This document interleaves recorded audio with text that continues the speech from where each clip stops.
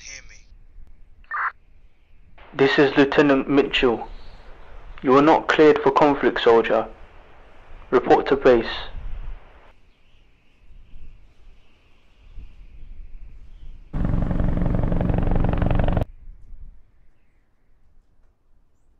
What on earth were you thinking, Private?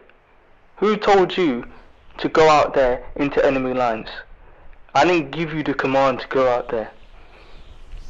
But you went out there today and you could have got yourself killed, much less your members killed. I don't want any more stupid mistakes like that.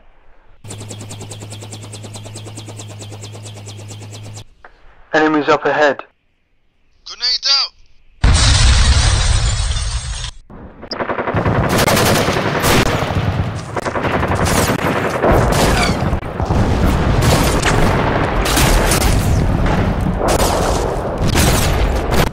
Sir, we're taking heavy fire from enemy forces. I'm calling in an airstrike.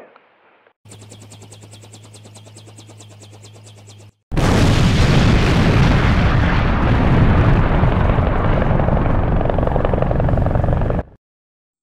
hostiles down, sir.